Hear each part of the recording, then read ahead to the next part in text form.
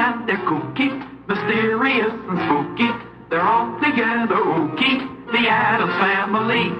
The house is a museum. When people come to see them, they really are a scream. The Addams family.